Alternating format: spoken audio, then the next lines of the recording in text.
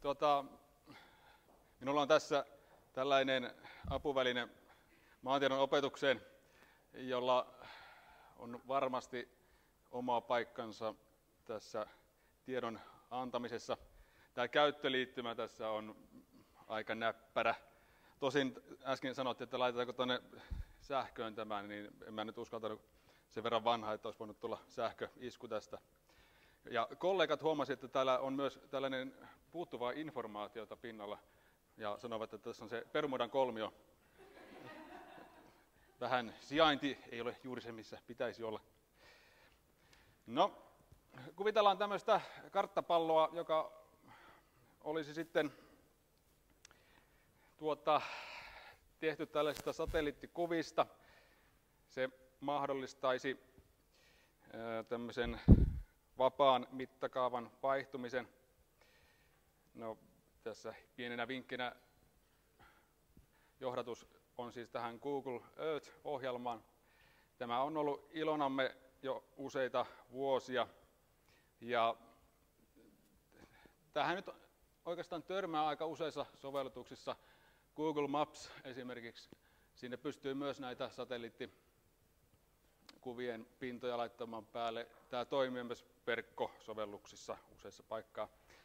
Mutta tuota, tämä toimii, toimii myös tämmöisenä erillisenä ohjelmana, jolloin tähän pystyy lataamaan esimerkiksi sellaisia pikkusia ohjelmia. Ja olen kyllä käyttänyt hyvin paljon maantiedon opetuksessa tätä. Kyllä se aika harvoin lävähtää alas se perinteinen kartta sieltä nykyisin. No, miten sitten opetuksessa tätä käytetään? Mun ei tarvi hirveän pitkälle mennä ajassa taaksepäin, kun tätä eh, käytin nimittäin aamupäivällä.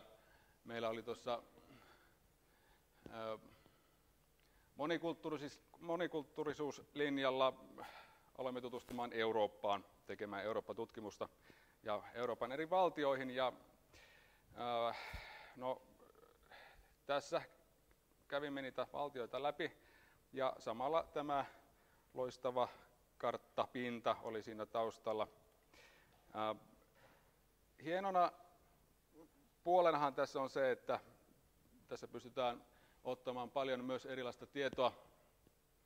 Täällä on valokuvia, täällä on videoita, täällä on nykyisin esimerkiksi todella hyvin kaupungitkin mallinnettu joko 3D-rakennuksena tai sitten nämä Googlen autot ovat tehneet näitä, näitä kuvauksia. Voi siis tehdä aivan valtavan hienon matkan minne tahansa Eurooppaan. Me kävimme tuolla Barcelonan katuja äsken vähän katsomassa. Myös suoria havaintoja pystyy tekemään satelliittikuvissa. Tässä tämä kuva on nyt Tanskan ja Ruotsin seudulla ja äh, vähän kävimme jo läpi, että miksi tämä Tanska näyttää jo tuonne avaruuteen väriltään hieman erilaiselta, mitä toi vastakkainen Ruotsin puoli tai Norjan maisema. Ja sitten aika nopeasti muistelivat, että tämä Tanskahan on aika lailla maatalousvaltaista aluetta ja sieltä metsäpeitto on aika lailla kadonnut. Eli ei ollut mitään, mitään mätää Tanskan maalla, vaan pikemminkin jotain tuotto, tuottosaa ja syötävää Tanskan maalla, mitä sieltä tulee. Uh,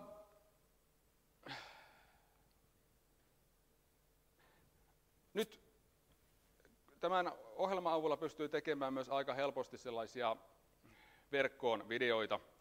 Eli ottaa jonkun tietyn, tietyn aiheen, tekee vähän käsikirjoitusta siitä ja sen jälkeen kuvakaappaa sen videolle ja samalla sitä voi sitten selvittää sitä asiaa. Mä näytän yhden pätkän, tai ainakin osan siitä tällaisesta aiheesta, joka kertoo vuoden ajoista maapallolla, ja tämä on peruskoulun maantiedon kurssille suunniteltu.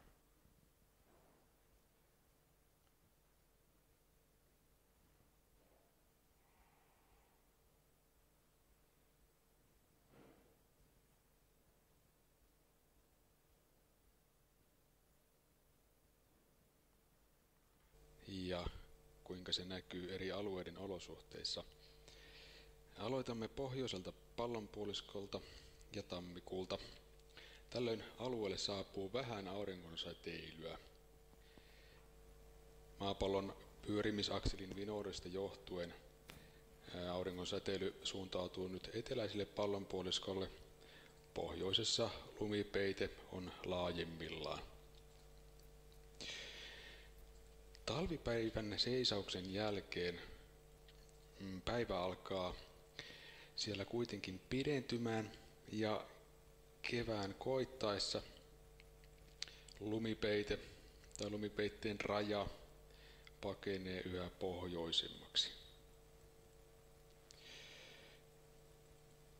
Kesän koittaessa maa alkaa vihertämään, kasvien tuotanto alkaa ja maapallon pohjoinen alue on nyt kääntynyt kohti aurinkoa. Saapuvan valon määrä on nyt runsaimmillaan näin kesäpäivän seisauksen aikana. Aurinko tulee silloin suoraan gravun kääntöpiirille. Ja tämän jälkeen maapallon kiertoliike jatkuu toki auringon ympäri ja valon määrä alkaa vähenemään pohjoisella pallonpuoliskolla. Ilma alkaa kylmenemään ja lumipeite alkaa jälleen peittämään pohjoista pallonpuoliskoa.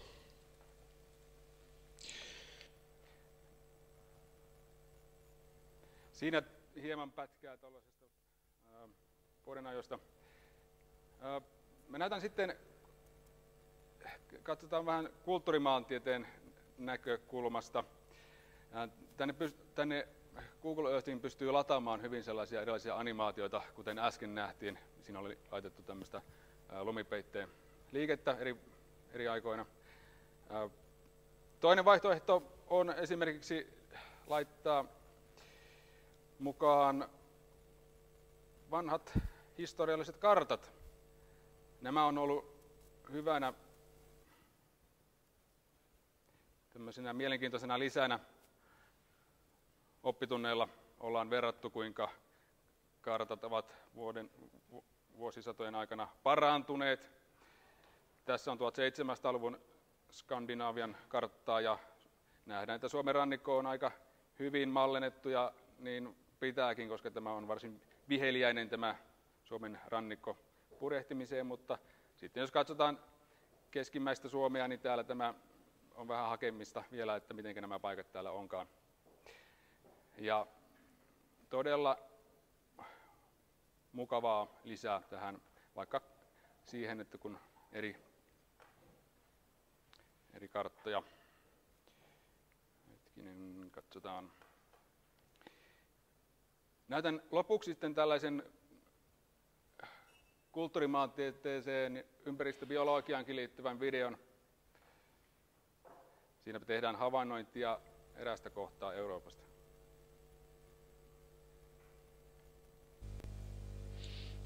tarkastelemme nyt tällaista aluetta, jossa on samanlaista valkeaa merkillistä kuviota, valtavat alueet.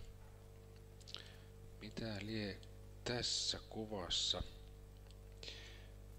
Otamme hieman zoomasta ylöspäin ja havaitsemme, että alue on Espanjan rannikko. Ja olemme nyt katsomassa sitä aluetta, missä on valtavat kasvihuoneet. Tämä on nyt se alue, josta Suomeenkin tuodaan talvisin valtavat määrät tomaattia, kurkkua. Olemme tämmöisen muovimeren yläpuolella todella, todella silmän kantamattomiin kasvihuoneita. Tämä on nyt se alue, missä työskentelee paljon laittomia siirtolaisia olosuhteissa, mitkä ovat varmasti aika raskaat. Ja ei nämä tomaatit ja kurkut tässä maaperässä ole. Olosuhteet ovat lämmön kannalta aika hyvät, mutta tomaatit ja e, kurkut elävät näiden kasvihuoneiden sisällä olevassa kasvuturpeessa, joka saattaa olla vaikka suomalaista kekkilän turvetta. Aika häkellyttävä maisema.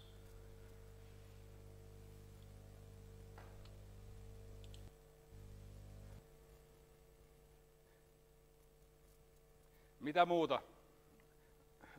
Maanjäristykset viimeisen vuoro, viikon aikana kaikki tulee, voidaan katsoa.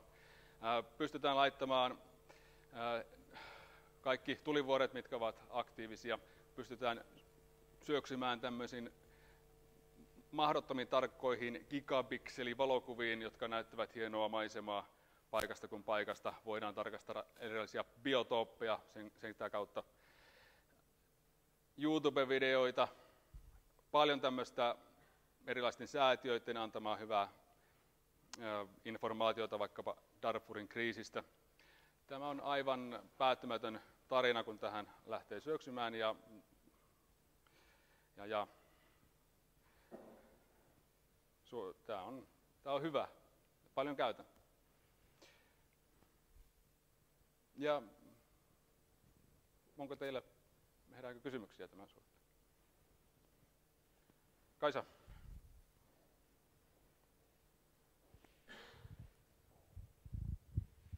Kiitos Heikki, tosi mykistävää. Itse on ollut äh, anomassa tuota karttapalloa aikoinaan tänne opetusvälineeksi, niin jotenkin, jotenkin tässä tulee hyvin nostalgisia jut, juttuja mieleen, mutta tota, niin ajattelen ihan semmoista kysyä sulta, että, että kuinka paljon niin kun, äh, tämä tämmöinen äh, opetusvälineistö ja tämä tämmöinen malli, mitä olet hienosti ja ansiokkaasti toteuttanut, niin on lisännyt opiskelijoiden motivaatiota maantieteen opiskeluun ja, ja sitten toisaalta minkälaisia, onko, onko niin kuin eroja siinä, siinä tota niin, esimerkiksi ilmiöiden ymmärtämisessä, maantieteellisten ilmiöiden ymmärtämisessä, kun pääsee niin tuommoisten animaatioiden kautta sisään? Niin, no siihen on varmaan yksinkertainen vastaus, että jos mikäli mikä tahansa asia on mitä visuaalisemmin näytetty, niin mitä mielenkiintoisemmin näytetty, niin sitä varmasti se enemmän mieleen silloin jää.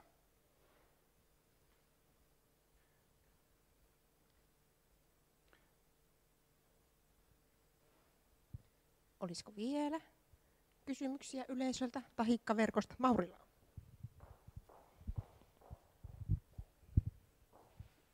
Mä tiedän, Heikki, että sä oot suunnittelemassa peliä. Arvaanko mä kovin väärin, että sä aiot käyttää Google Earthia siinä apuna siinä pelissä? No joo, tota, tämä on pinkkaus siihen, että tullaan tekemään tämmöinen biologian verkkokurssille Darwinista roolipeli. Ja kyllähän olen jo katsonut, että löytyykö tähän Google Earthiin semmoista reittiä, missä olisi joku valmiiksi jo tämän Beagle-laivan reitin jo tehnyt, ja kyllähän se sieltä löytyi. Ja esimerkiksi sillä, että etsii valokuvia siitä alueesta, niin, tota, tai siitä alueesta, missä Beagle-laiva kävi, niin tämä on hyvänä apuna siihen. Sillä. kysymys?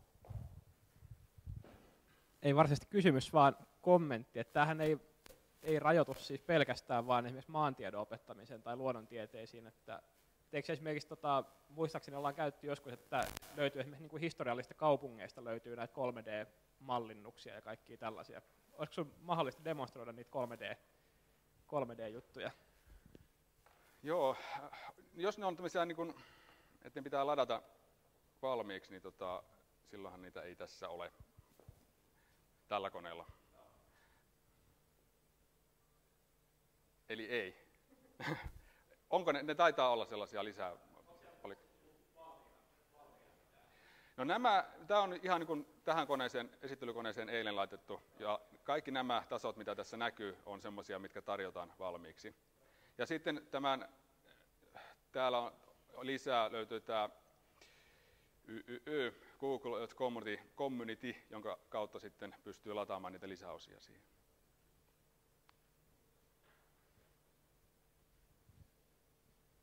Okei. Ehkäpä olemme tyytyväisiä tähän tilanteeseen. Kiitos Heikki.